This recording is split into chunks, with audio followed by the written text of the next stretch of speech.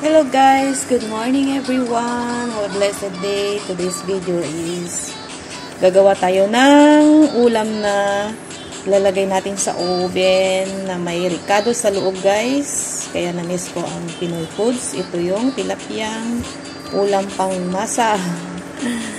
Ayan, natanggal ko na yung palikpik niya tsaka yung ano niya, yung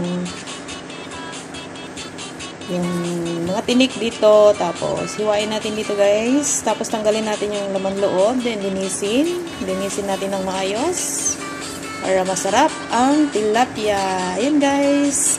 Kung bago pa kayo sa aking channel, please like, subscribe. Thank you so much. Update you later. Ayan na guys. Luto, ay ano, malinis na yung ating tilapia. Yan, dito natin inopen. Dito natin lagay yung ricado niya. Ito yung mga ricado niya.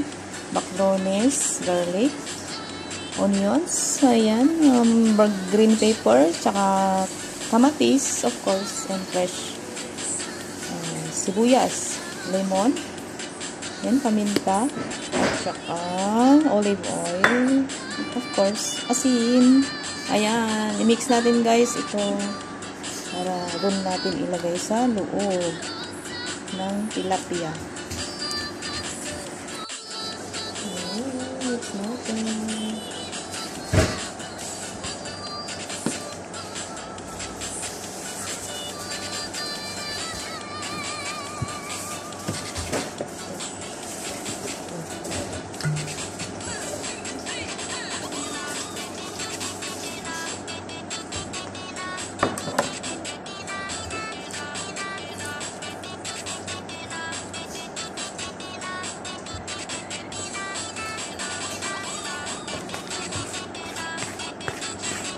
pouco.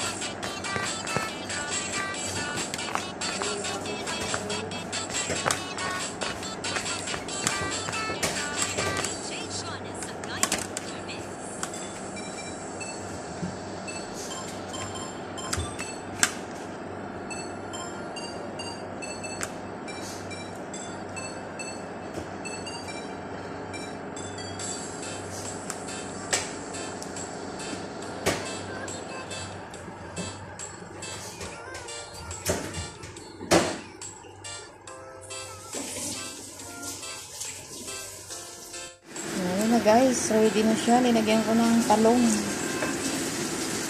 Ready to oven na siya guys. Kaya lagyan natin ulit ng olive oil. Ang luto niya.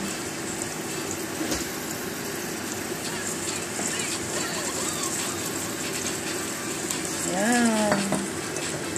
Ang tilapia. Ulam pang masa. Ayan guys. Ready to oven na siya. Masimasin natin para masarap.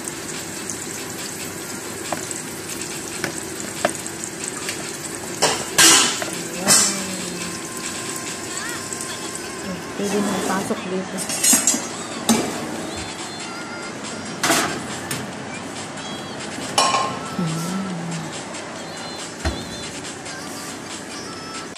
Ayan na guys, luto ng aking bread tilapia. Wow! This is our lunch nipis Inday Gamay. See guys? Oh, yummy! Ayan guys, thank you so much for always supporting my channel. Please like and subscribe. This is now the tilapia. Ayan, kain na tayo guys. Ito ang aming lunch. Thank you so much for always there watching my videos.